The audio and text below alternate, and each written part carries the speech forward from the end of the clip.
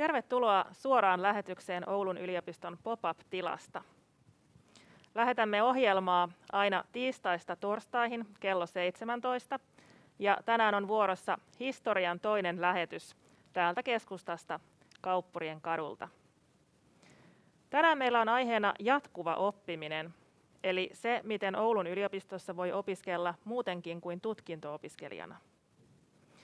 Yleisö voi jättää kysymyksiä tuossa alareunassa näkyvään osoitteeseen, eli viestiseinä.fi kautta Uni Oulu.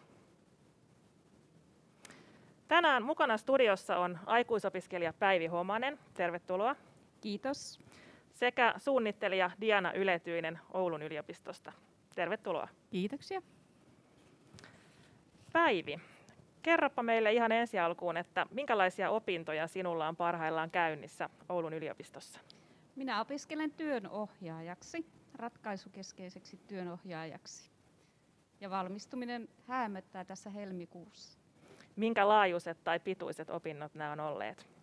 Nämä opinnot on kestänyt kaksi vuotta ja ovat 70 opintopistettä laajuudeltaan.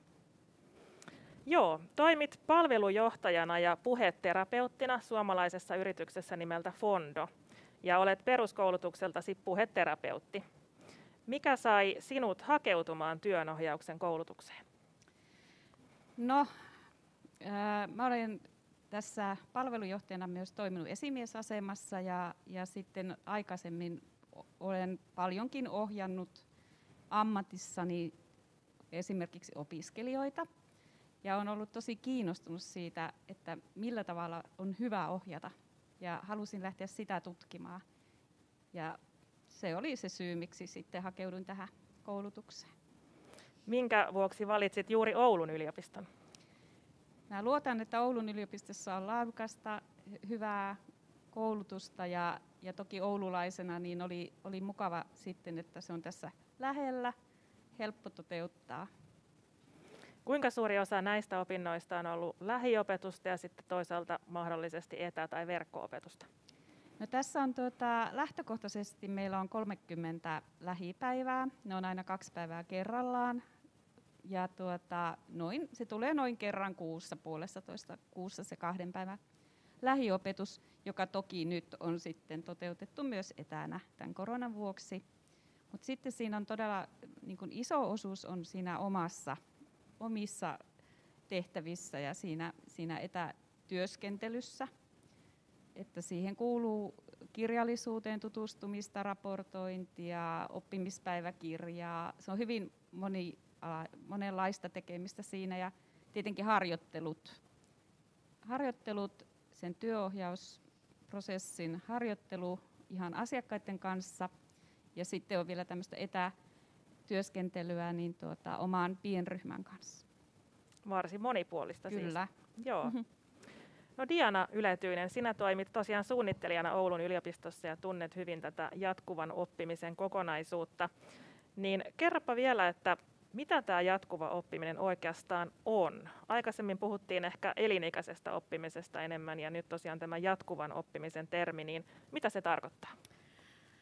Joo, no mitä jatkuva oppiminen tarkoittaa, niin tuota, ää, itse asiassa toi elinikäinen oppiminen on ihan hyvä termi siihen, eli se on juurikin sitä, että opiskellaan läpi elämän, että ää, voi ää, aloittaa opiskelun jo esimerkiksi ennen kuin on aloittanut yliopisto-opinnot, jos semmoisia harkitsee, että että voi tuota, vaikka käydä esimerkiksi avointa väylää tai voi käydä ää, jo esimerkiksi lukiossa niin yliopistokursseja, eli tämmöisiä lukiolaisten kurkistuskursseja. Ja sitten jatkaa niitä opintoja niin pitkään kuin ikinä haluaa ja työelämässäkin sitä vaaditaan ja tarvitaan, niin voi sitten uudelleen kouluttautua tai, tai tuota, hankkia lisää osaamista tämmöisen jatkuvan oppimisen kautta. Joo, hieman mainitsitkin tuossa jo, mutta minkälaisia kaikkia tavoitteita tai, tai motiiveja ihmisillä on, kun he hakeutuu näihin opintoihin? Mitkä siellä painottuu? Äh, joo, no varmasti riippuu hyvinkin paljon tuota, itse opiskelijasta, mutta sanoisin, että lisäkouluttautuminen on varmaan semmoinen, eli niin itsensä kehittäminen tulee ihan ensimmäisenä. Osa haluaa tosiaan ehkä vaihtaa vähän sitä alaa ja kouluttautua sitten uudelleen johonkin hieman eri alalle. No sitten mainitsin itse asiassa jo avoimen väylätkin, niin tämäkin on itse asiassa semmoinen, mitä Eli halutaan itse asiassa perustutkinto-opiskelijaksi Oulun yliopistoon, niin aloitetaankin se, ne opinnot hieman aiemmin ja sitten pyritään sitä kautta, sitä kautta sitten tota, perustutkinto-opiskelijaksi. Mutta siinäpä on ehkä ne tärkeimmät, mutta tietenkin ihan itse asiassa harrastuneisuus, niin ihan semmoinen, että niinkö omaksi iloksi opiskellaan, niin sitä on myös tosi paljon. Joo. Mitä aloja Oulussa on jatkuvan oppimisen tarjonnassa? No meillä on itse asiassa tarjolla kaikkia aloja, mitä Oulun yliopistossakin on, eli niin perus, perustutkinto opiskelussa. Ja sitten tämän lisäksi on mahdollista räätälöidä erilaisia opintoja, eli jos esimerkiksi yritys haluaa ostaa sitten jotakin muuta, mitä ei välttämättä just nyt ole tarjolla vielä meidän opintotarjonnassa, niin voi kyllä kysellä, että onnistuisiko semmoinen ja olisiko se mahdollista. Joo, eli tosiaan jos katsojillekin vielä kerrataan, niin Oulun yliopistohan on tosi monialainen, aloja löytyy, kyllä. että melkein on helpompi ehkä luetella aloja, joita ei löydy, ja ne on sitten ehkä tota teologiaa, oikeustiedettä, eläinlääketiedettä, tuleekohan jotain muuta mieleen, mitä, mitä Oulusta ei löydy, mutta aika laidasta laitaan. Kyllä, ja uusiakin on tullut vielä mukaan, että esimerkiksi psykologiaa kun ei ollut, mutta nyt sitten, nyt sitten tuota psykologiakin lähti mukaan tässä. Todella monipuolisesti eri aloja on kyllä. Kyllä. Onko jotain sitten tämmöisiä erityisen suosittuja aineita tai bestsellereitä, jotka kiinnostaa tuolla jatkuvan oppimisen puolella? Joo, ainahan niitä löytyy. Oikeastaan äh, no, y- muutaman jos mainitsen, niin tuota, äh, tuotantotalouden sivuaineopinnot, tämmöinen 25 opintopisteen kokonaisuus kiinnostaa todella paljon. Sitten esimerkiksi psykoterapeuttikoulutus on myös suosittu ja sitten tuota, matematiikkaa aineen opettajille, eli tämmöinen sitten opettajien koulutus. Joo. Oliko joku tämmöinenkin matematiikan täydennyskoulutushanke nyt käynnissä, missä osallistujat voi jopa saada tämmöisen stipendin käydessään sitä tämmöinen joustavan matematiikan se voi olla, en valitettavasti nyt osaa tähän sanoa. Joo, muistaakseni se oli, Joo. Se oli näin. Tota, kun ihminen lähtee sitten etsimään näitä jatkuvan oppimisen mahdollisuuksia, ja sehän onnistuu esimerkiksi tämmöisestä nettiosoitteesta kuin oulu.fi kautta JOY tai JOY, tarkoittaa siis jatkuvan oppimisen yliopistoa. Ja sieltä löytyy sitten erilaisia opintojaksoja, joissa saattaa olla vaikka merkintä, että ne on avoimen yliopiston opintoja tai ne on täydennysopintoja, niin mitä eroa näillä kategorioilla on? Joo, tuo on itse tosi hyvä kysymys. Äh, Eli tuota, meillä on tarjolla hyvinkin monipuolisesti tuolla jatkuvan oppimisen yliopiston alla niin hyvinkin monipuolisesti erilaisia opintoja. Avoimen yliopiston opinnot tarkoittaa sitä, että ne on tutkinnon osia, eli jos käy avoimessa yliopistossa opintoja, niin voi sen jälkeen esimerkiksi, jos hakee perustutkinto-opiskelijaksi, niin hyväksi lukea ne ö, oman tutkintoon. Tai jos ö, työnantaja haluaa tai vaatii niin tutkinnon osia, niin niitä voi käydä sitten avoimessa yliopistossa. Sitten taas nämä muut opinnot, niin ne ei ole ö, tutkintoihin kuuluvia opintoja, vaan ne on sitten jotain muita on erilaisia hankkeita ja hankkeiden kautta toteuttavia koulutuksia. Sitten on just näitä räätälöitäviä koulutuksia ja niin edelleen, että ne ei sitten tosiaan niihin perustutkintoihin sitten kuulu. Joo. Nämä avoimen opinnot, jotka on siis tutkinnon osia, niin onko näissä sitten myös semmoista hyödynnettävyyttä vaikka yliopistojen tai paikkakuntien välillä? Joo, siis kyllä, kyllä on. Ähm, No esime- hyvä esimerkki on nämä avoimen väylät. Eli äh, sitten jos hakee väylän kautta sisään, niin vo- ei ole välttämättä ihan pakollista, että ne väyläopinnot on käyty siinä yliopistossa, johon haet, vaan voit ha- äh, tuota, käydä ne jossain muualla ja sitten kuitenkin kysyä, että käyhän ne ää, myöskin niin tähän yliopiston väyläopinnoiksi. Eli kyllä niissä on, niissä saattaa olla siis eroja, eli aina sitten pitää olla yhteyksissä siihen yliopistoon, yliopistoon mihin ne haluaa esimerkiksi hyväksi lukea, että, että käykö ne. Voi olla, että joskus joutuu jonkun verran opintoja täydentämään, ää, tai esimerkiksi, no, esimerkiksi kirjoittamaan jonkun esseen tai muuta, mutta joskus ne käy ihan sellaisenaan. Joo. Ja tosiaan, että vaikka suorittaa tutkinnon osia, niin ei tarvitse välttämättä olla se tutkinto mielessä, että ne voi olla tämmöisiä Et, kokonaisuuksia. Ja juuri näin, kyllä. Sen voi jättää sitten myös siihen. Kyllä. Joo, no Päivi, tuota niin, minkälaista ajankäytön suunnittelua sinulta on vaatinut, että olet opiskellut työn ohessa? No totta kai nämä lähipäivät, ne on arkipäiviä, eli silloin ollaan töistä pois. Mulla itselläni on onni, että Fondo on hyvin tämmöinen koulutusystävällinen työnantaja ja on antanut siihen minulle mahdollisuuden. Ja, ja tuota, sitten sen lisäksi nämä itsenäiset ää, opiskelut, niin aika lailla olen ajoittanut viikon lopuille ja se sopii mulle oikein hyvin, että, että mielelläni sitten viikonloppuja on siihen käyttänyt. Joo, eli virallista opintovapaata et ole sitten pitänyt? En ole pitänyt, joo, joo. Että ihan töiden ohella on tämän pystynyt kyllä ihan hyvin suorittamaan, että en ole kokenut, että se olisi ollut mitenkään rasite. Kyllä, Joo, aikuisilla työelämässä olevillahan on sitten vaihtoehtona myös nuo opintovapaat ja aikuiskoulutustuet, jos, jos niihin haluaa perehtyä ja niistä, niistä etsiä lisää tietoa, niin se on yksi vaihtoehto myöskin sitten omistaa enemmän aikaa siihen, Joo, kyllä. siihen opiskeluun. No Diana, millä tavoin yleensä nämä opinnot on käytännössä järjestetty, että kuinka helppo tai vaikea on opiskella vaikka työn ohessa?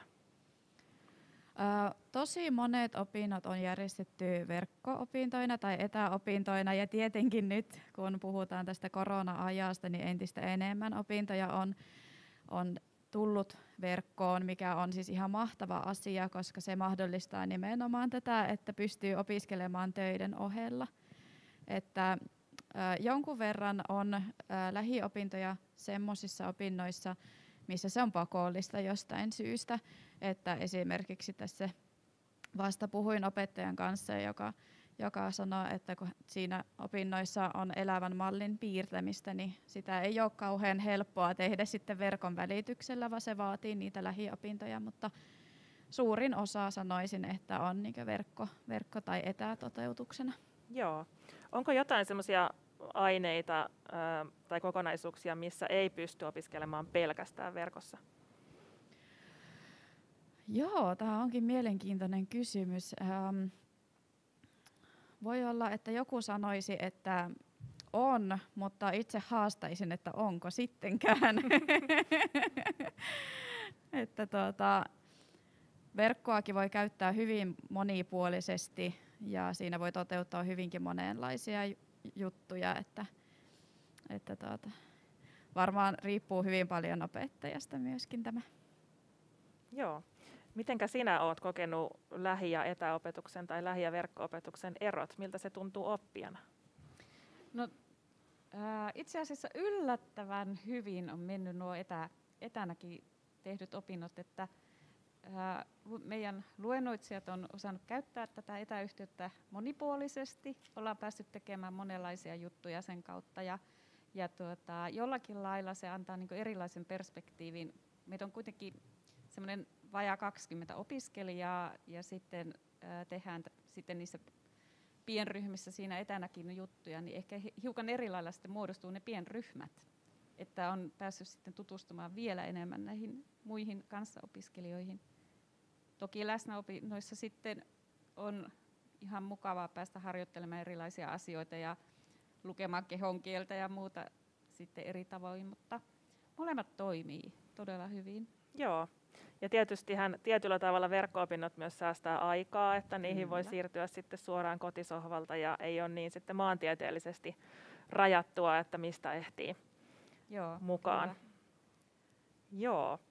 No puhutaanpa ihan pikkusen rahasta, eli Päivi, mitä nämä työnohjauksen opinnot on sinulle maksaneet? Tämä kokonaisuus on semmoinen reilut 7000 euroa kahden vuoden opinnot. Sitten tuota, lisäksi on omakustanteisesti omaa työnohjausta. Eli se, se tulee sitten itse maksaa, mutta tuota, Eli onko se tällaista, että sinua ohjataan? Kyllä, Joo. eli itselle ostetaan omaa Joo. työohjausta, niin sitäkin, sitäkin tähän kuuluu, mutta sehän monesti kuuluu, kuuluu kyllä ammattiin kuin ammattiin toivottavasti. Näin tulevana työohjaajana toivon, että se on hyvin yleistä. Mutta, mutta se suurin piirtein sitä luokkaa. Joo. Tietyllä tavalla tuo hinta kuulostaa ehkä hiukan korkealta tai, tai paljon edullisempiakin opintoja varmasti on runsaasti tarjolla. Mihin se hintaluokka yleensä asettuu? Joo, no tuota, meillä on itse asiassa hyvinkin monipuolisesti jopa täysin nolla euroa olevista opinnoista niin tuonne tämmöisiin vähän korkeimpiin hintoihin. Eli tuota, ää, meillä on täysin maksuttomia opintoja olemassa ja, ja sitten tuota, ää, avoimen yliopiston opinnot maksaa aina 15 euroa per opintopiste. Tai siis nyt kun sanoin aina, niin ei ole, ei ole aina, mutta usein. Ja sitten siitä, siitäkin tota, korkeimpia hintoja, eli sitten täydennyskoulutuksen puolella voidaan esimerkiksi mennä tämmöisiin vähän korkeimpiinkin hintoihin. Onko se siellä avoimen kurssien puolella tai opintojaksojen puolella, niin onko se tämmöinen hintakatto se 15 per opintopiste? Joo, kyllä se on laissa, laissa tämä 15 euroa per opintopiste, että se on maksimi. Joo.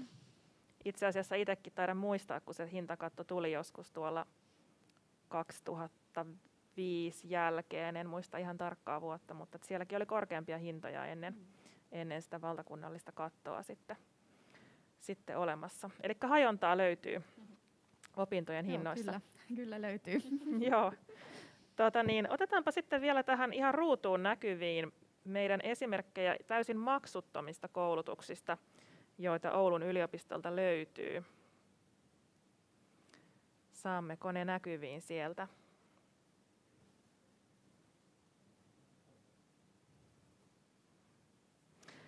No kerrotaanpa sitten täältä, että meillä on esimerkiksi tämmöisiä digitaalisuuteen liittyviä opintojaksoja, jotka on täysin ilmaisiakin.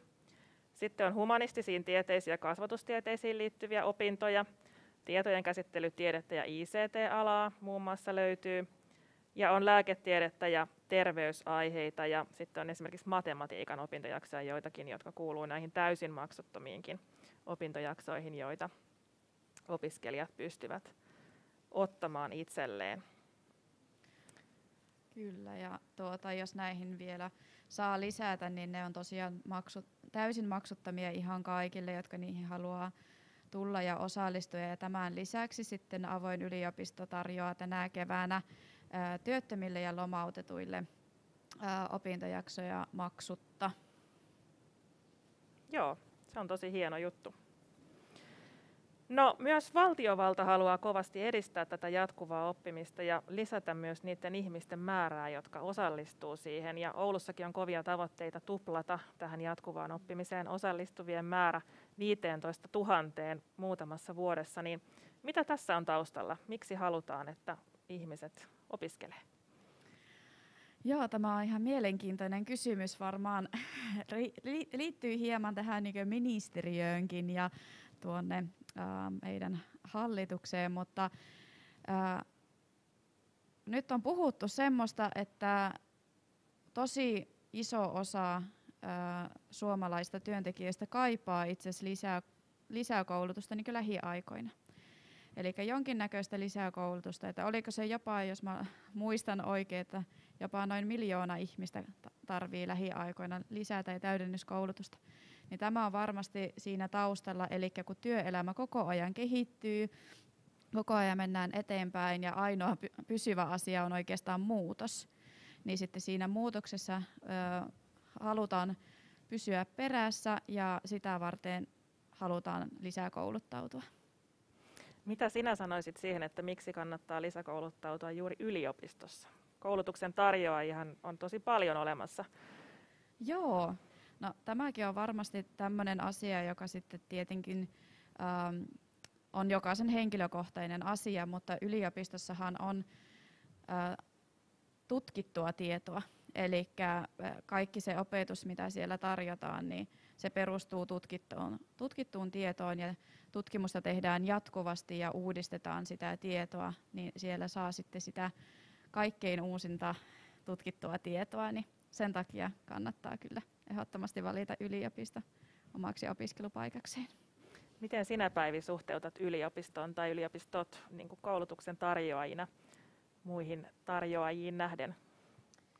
No, äh, olen kyllä käynyt muitakin koulutuskokonaisuuksia ja, ja todella hyviäkin ja tota, äh, pitkiä, mutta, mutta kuten jo aikaisemminkin sanoin, mä jotenkin luotan siihen, että nimenomaan tämä tutkittu tieto on vahvimmillaan siellä yliopistossa.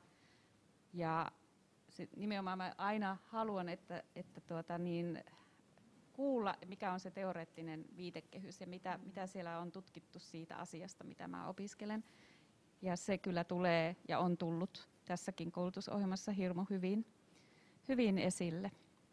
Joo, mitä mieltä ylipäätään olet ollut tästä saamastasi opetuksesta tässä työnohjaajakoulutuksessa? No, Täytyy kyllä sanoa, että se on yllättänyt minut kovasti nimenomaan siinä, siinä, että tämmöinen laaja koulutus, joka kestää pitkään, niin siinä kyllä se on sellainen prosessi, jossa kasvaa ja oppii ymmärtämään erilaisia ilmiöitä, tässä tapauksessa työelämää ja ihmisten käyttäytymistä ja niin edelleen. Ja se on, se on kyllä ihan huikeaa ja olen nauttinut ihan täysin täysin. Ja tässä on, on niin monipuolinen, tässä on ollut paljon meillä erilaisia luennoitsijoita, on vierailijoita ja on meidän vakiväkeä ja, ja se on hyvin rakennettu kokonaisuus. Hieno kuulla. Mitenkä koet, että olet päässyt jo tästä hyötymään tai hyödyntämään tätä omassa työssäsi? No, paitsi että esimiestyössä siitä on huikea apu. Mä oon ollut aina vähän semmoinen neuvoja tyyppiä. Tämä ratkaisukeskeisyys on laittanut minut katsomaan asioita vähän eri vinkkelistä, niin siitä on ollut valtava hyöty ihan siinä esimiestyössä. Ja sitten sen lisäksi mä teen ihan työnohjausta jo nyt oman organisaation sisällä ja, ja myös jonkun verran organisaation ulkopuolelle. Sinulla on myös lastentarhanopettajan tutkinto taustallasi, niin mikä sinua on motivoinut opiskelemaan aina lisää? niin kuin tässä Diana sanoi, että tämä on vähän niin kuin harrastus tai, tai joku kuume, joka iskee ja, ja tuota, sitä on vaikea selittää, mutta ehkä se on, se on vain joku, mä rakastan sitä tunnetta, kun mä saan jotakin uutta oppia ja, ja ymmärrystä ja tulee niitä oivalluksia, niin se on hieno tunne. Ja sitten ähm, aina se tuo mukanaan uusia mahdollisuuksia että kyllä tässä jo miettii, että mitä sitä seuraavaksi, kun saa tämän, tämän tutkinnon lopetettua, niin, tota, niin alkanut jo kääntymään pää siihen suuntaan. Onko vielä mitään ajatuksia, että mitä se voisi No olla? ei vielä, ja mä yritän hillitä itseäni. Tässä on tullut niin monta vuotta nyt opiskeltua. Joo. Mutta miettii vaan, että mitä mä teen viikonloppuisin nyt sitten, kun opinnot loppuun. Niin, niin tyhjyyden tunne niin. sitten siinä kohtaa. Joo. Joo. No yliopistossahan on vanhastaan tosiaan opiskeltu näitä kokonaisia tutkintoja, joita nyt on yleensä ehkä maisteritasoiset tutkinnot, nimikkeitä on muitakin, voi olla vaikka diplomi-insinööri ja sitten siellä on kandidaatti alempana tutkintona ja sitten tietysti ihan lisensiaattiin tai tohtoriin asti voi opiskella. Ja näillä tutkinnoillahan on tietty semmoinen statusarvo kuitenkin työelämässä ja, ja tota, joihinkin ammatteihin ne on myös ihan pääsyvaatimuksena, että pääseekö harjoittamaan sitä ammattia, niin jos ajatellaan tätä jatkuvan oppimisen kokonaisuutta, niin mitä Diana arvelet tai ajattelet, että arvostaako työnantajat tällä hetkellä tämmöisiä pienempiä kokonaisuuksia kuin tutkintoja? Joo, kyllä mä sanoisin, että arvostaa, koska siis luulisin, että työnantaja kyllä tykkää siitä, jos ihminen koko ajan kehittää itsensä, oppii lisää. Että kyllä mä sanoisin, että sillä on tosi iso merkitys myös siellä työpaikoilla. Miten Päivi sinä koet, kun tosiaan toimit muun muassa esimiehenä omassa työssäsi, niin mikä tämmöisen täydennyskouluttautumisen merkitys on nykyisessä työelämässä? Siis kyllä mä näen kanssa, että se on, se on tuota erittäin, erittäin hyvä meritti siellä, kun hakee työpaikkaa, esimerkiksi uutta työpaikkaa, jos sulla on siellä mukana, mukana ja osoitusta siitä, että haluat kehittää itseäsi ja oot opiskellut vapaaehtoisesti vielä ylimääräistä, niin kyllä se aina, aina on niin positiivinen merkki siitä, siitä tuota työnhakijasta. Kyllä. No sitten tosiaan tuota avoimen väylää, niin sitä hiukan tuossa aikaisemmin jo sivuttiinkin, ja sehän tosiaan tarkoittaa sitä, että tehdään näitä opintojaksoja, niitä avoimen yliopiston opintojaksoja tähtäimessä sitten tutkinto-opiskelupaikka. Niin mitä lisää pystyisit vielä kertomaan tästä avoimesta väylästä?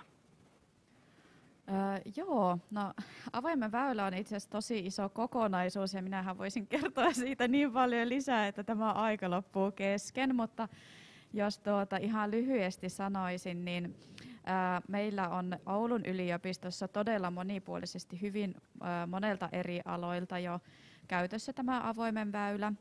Ihan kaikissa tutkinto-ohjelmissa sitä ei vielä ole, mutta tuota, hyvin monipuolisesti kuitenkin eri aloilta, että on myöskin olemassa avoimen väylät maisteritutkinnon tasolle, eli siinä sitten yleensä on, pitäisi olla joku koulutus taustalla ja sitten tehdään muutamia opintoja siihen päälle lisää ja haetaan sitten niin maisteritason ää, opintoihin. Ja sitten on tietenkin näitä niin sanottuja perinteisiä, eli tämä 3 plus 2V, eli kandi plus maisteriopinnot väyliä.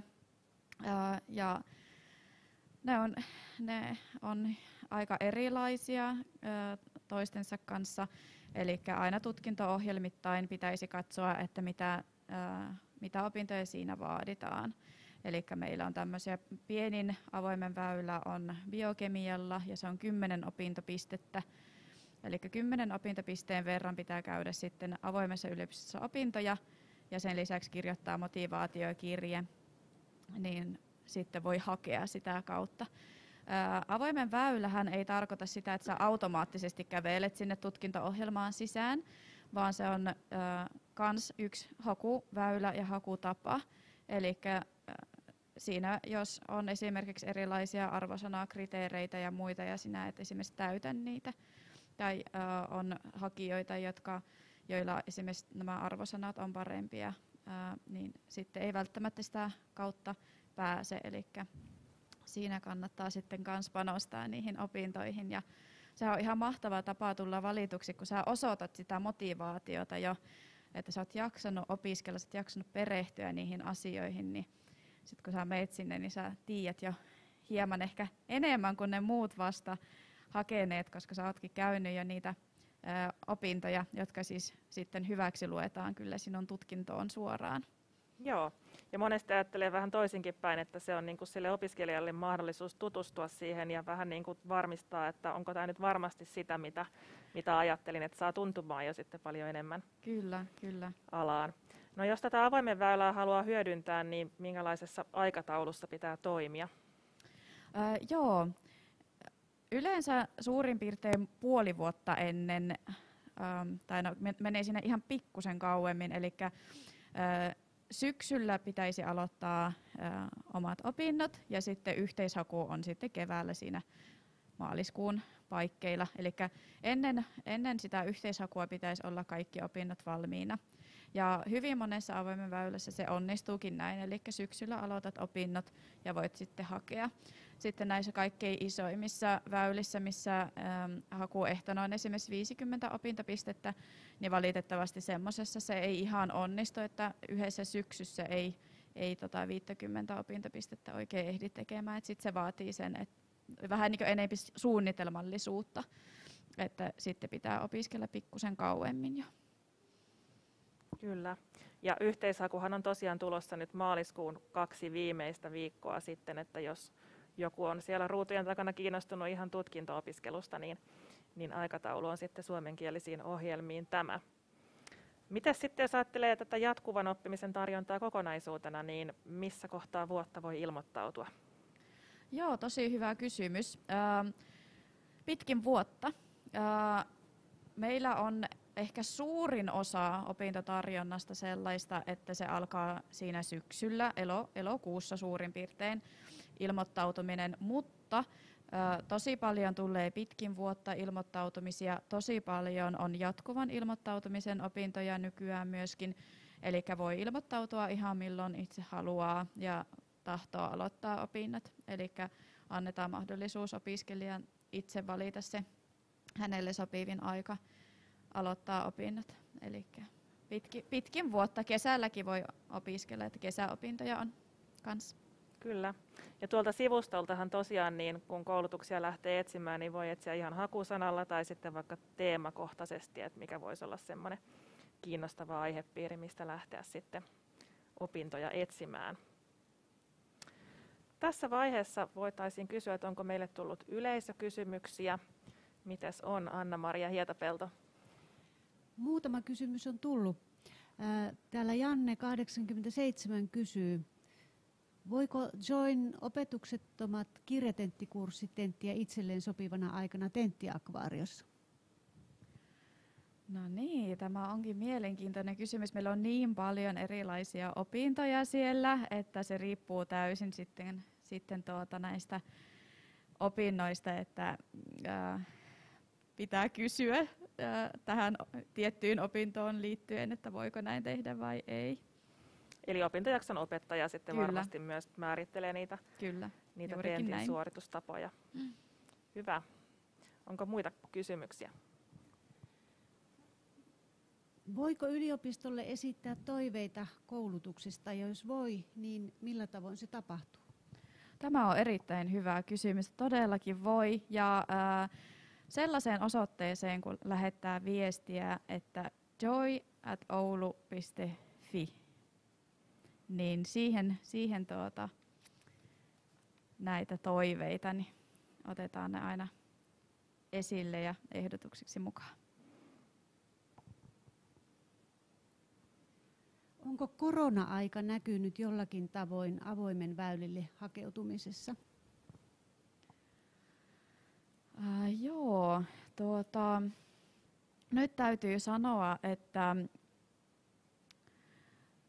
ei pysty vielä sanomaan, että onko se näkynyt, koska yhteishaku tulee piakkoin. Ja ennen sitä me ei, voi, ei, ei oikein tuota voida tietää, että onko se jollain tavalla ää, vaikuttanut. Eli se tieto tulee hieman myöhemmin. Ja mä luulen, että tämäkin, että meidän avoimen väylät on kuitenkin otettu mukaan tälle laajemmalti niin aika vasta. Että 2000 2019 yhteishaussa. Niitä oli vielä ihan muutama ja sitten ne on lähtenyt, lähtenyt liikkeelle, niin tämäkin, että ihmiset saa tietää, että näitä on paljon enemmän, niin sekin on varmasti vaikuttanut osaltaan sitten siihen, että tuleeko niitä koko jo, niin vuosi vuodelta lisää, niin lisä, lisää opiskelijoita tietylle väylälle. Mm. Vieläkö on kysymyksiä lisää? Tässä oli kaikki, mitä sain yleis- yleisöltä. Kiitos. Hyvä, kiitoksia. No Päivi, vielä semmoinen kysymys sinul, sinulta tähän loppuun, että miten mm, mm, kannustaisit sellaista henkilöä, joka harkitsee nyt osaamisensa täydentämistä tai opiskelemista työuran varrella, niin miten kannustaisit heitä lähtemään opintojen pariin? No todellakin suosittelen ja voin voin kannustaa jokaista, joka semmoista harkitsee, että kannattaa selvittää näitä vaihtoehtoja, joita tuntuu olevan ihan valtavasti, mitä on tässä kuunnellut Dianan kertomusta ja, ja hakea sieltä sitä itselle sopivaa, koska se varmasti antaa enemmän kuin ottaa. Et se, on, se on kyllä ihan varma asia. Et rohkeasti hakemaan ja, ja kehittämään sitä omaa osaamista. Kiitoksia. Ja näissähän tosiaan varsin monessa opintojaksossa ei ole mitään pohjavaatimuksia, että joissakin tosiaan on, mutta sitten on varsin paljon näitä, että ei tarvitse olla tiettyä tutkintoa tai tiettyä ikää, vaan ihan kaikki ovat tervetulleita näitä opintoja suorittamaan. Hyvä. Minä kiitän oikein lämpimästi teitä molempia tästä keskustelusta. Kiitos. Kiitoksia. Kiitos. Ja lämmin kiitos myös katsojille osallistumisesta tänään. Huomenna torstaina on jälleen lähetys Popapista ja silloin aiheena on Why I Chose Oulu, miksi valitsin Oulun. Tähtitutkijamme vastaavat tähän kysymykseen. Oikein paljon kiitoksia ja hyvää illanjatkoa.